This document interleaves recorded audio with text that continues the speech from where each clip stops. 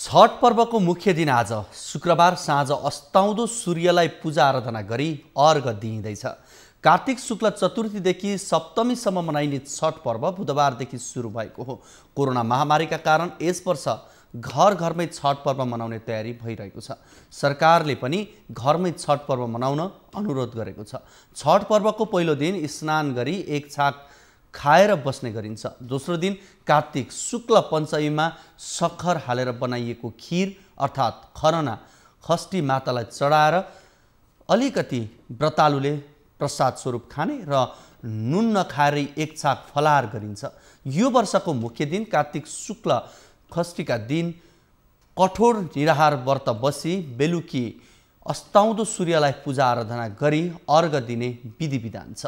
खष्टीका दिन रातभर जागा बसी कार्तिक शुक्ल सप्तमीका दिन बिहान उदाउँदो सूर्यलाई पूजा आराधना गरी विधिपूर्वक अर्घ दिएपछि यो पर्व समापन हुन्छ। विक्रमसम्म दुई हजार छयालिस अघि तराईको सीमित क्षेत्रमा मनाइने छठले अहिले राष्ट्रिय स्तर ग्रहण गरेको छ।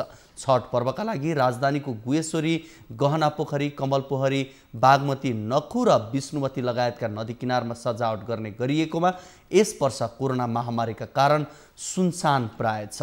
कार्तिक शुक्ल खष्टीको दिन खष्टीको बेलुकी गुहेश्वरी र कमल पोखरीमा राष्ट्रपतिले समेत छठ पूजा गर्नुहुने कार्यक्रम यस वर्ष कोरोना भाइरसका कारण स्थगित गरिएको जनाइएको छ। यस वर्ष कोरोना महामारीबाट बच्न प्रशासनले भिडभाड नगरी छठ पर्व मनाउन आह्वान गरेको छ। स्वास्थ्य सुरक्षाको विधि अप्नाएर व्रतविधि पुरा गर्न पनि प्रशासनले सम्झाएको छ।